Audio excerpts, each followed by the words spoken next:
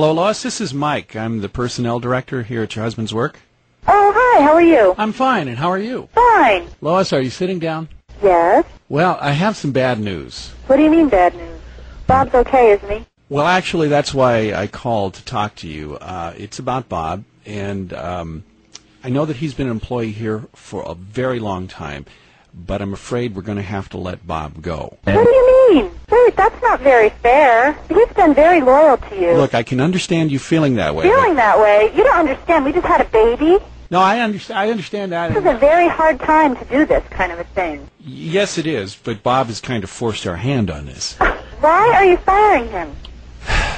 We caught him doing his secretary on his office desk. Oh, that son of a bitch! Look, I, I know you're upset. Upset is not the word. That stupid, rotten son of a bitch. I can't believe this. He's on his way home right now, and when he's going to need your support. Put my f- hand! I'm gonna change the locks on the door. I'm throwing his shit outside on the front lawn. He can just have it all. I am, I'm not even gonna be here when he gets back. And now, now, I don't feel so bad about f- his brother.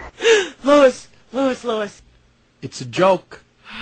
Your husband put us up. It's your birthday. Happy birthday!